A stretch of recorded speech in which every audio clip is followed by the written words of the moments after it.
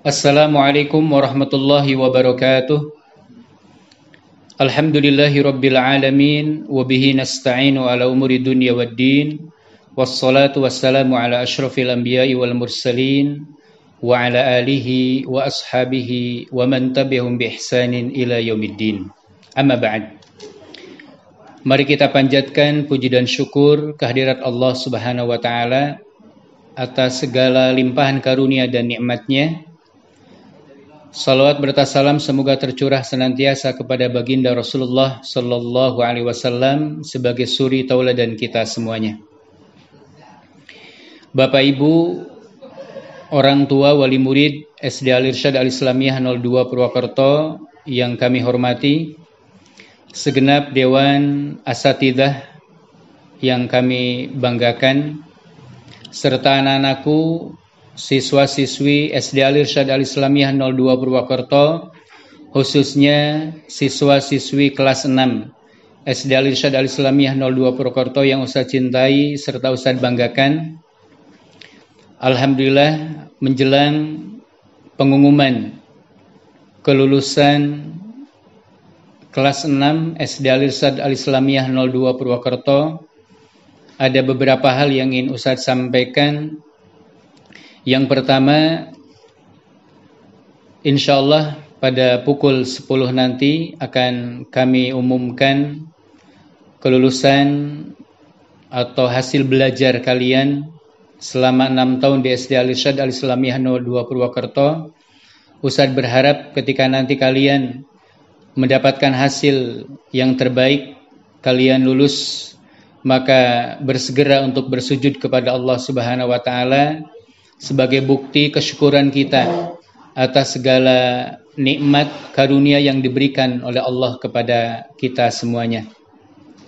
Anak-anakku sekalian, perjalanan enam tahun saat kalian dahulu diantar oleh bapak ibu kalian di Alma Mater SD Al Irsyad Al Islamiyah 02 Purwokerto dan tentunya disambut baik oleh semua ustadz dan ustadzah hari ini dengan diumumkannya kelulusan di kelas 6 berarti dengan terpaksa kami harus melepas kalian, kami kembalikan lagi kepada orang tua kalian.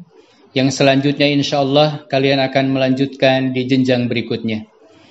Anak-anakku yang Ustadz banggakan, yang Ustadz cintai, kelulusan tahun ini berbeda dengan tahun-tahun sebelumnya Hari ini kalian lulus tanpa ada jabat tangan dan tahun ini pula kelulusan kalian tidak menggunakan ujian nasional akan tetapi Ustaz yakin kalian semuanya adalah siswa-siswi yang hebat.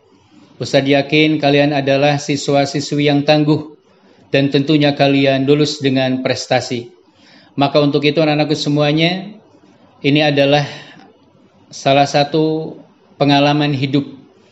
Satu jenjang, satu langkah sudah kalian lalui dan masih banyak langkah-langkah yang akan kalian lalui, maka untuk itu saya berpesan dengan ilmu yang sudah diberikan oleh ustadz dan ustadzah, pengalaman belajar selama di SD Al-Irsyad 02 Purwokerto, pembiasaan-pembiasaan baik, ibadah-ibadah yang sudah diajarkan mudah-mudahan menjadi bekal kalian untuk melalui di jenjang-jenjang berikutnya. Amalkan segala apa yang sudah kalian ketahui. Biasakan apa-apa yang sudah menjadi kebaikan-kebaikan yang sudah dibiasakan dalam setiap harinya. Mudah-mudahan itu semuanya akan menjadi bekal kalian semuanya yang akan mengiringi kesuksesan kalian semuanya. Yang terakhir kami sampaikan kepada Bapak Ibu, orang tua wali murid SD Al Irsyad Al Islamiyah 02 Purwokerto. Kami ucapkan jazakumullah khairan katsira. Terima kasih atas kepercayaan yang sudah diberikan kepada kami di dalam mendidik putra-putri Bapak Ibu semuanya. Mudah-mudahan apa-apa yang sudah Bapak Ibu berikan, baik tenaga, pikiran, bahkan kerjasama selama ini dicatat oleh Allah Subhanahu wa taala sebagai amal baik. Yang mudah-mudahan kami mendoakan ananda sekalian menjadi anak-anak yang sukses, anak-anak yang soleh dan soleha menjadi kebanggaan Bapak Ibu semuanya menjadi kebanggaan kaum muslimin semuanya. Sebagai akhir sambutan saya, kami mewakili segenap asatidah dan seluruh SDM SD Al Irsyad Al Islamiyah 02 Purwokerto kami mengucapkan jazakumullah khairan kathiran kepada Bapak Ibu wali murid kelas 6 SD Al Irsyad Al Islamiyah 02 Purwokerto atas kerjasama yang dilakukan selama ini atas semua bantuan berupa pikiran tenaga di dalam membantu terlaksananya kegiatan pembelajaran di SD Alisad Al-Islamiyah 02 Purwokerto dari tahun pertama sampai tahun terakhir mudah-mudahan dicatat sebagai amal soleh dan mudah-mudahan menjadi pemberat timbangan kita pada hari akhir.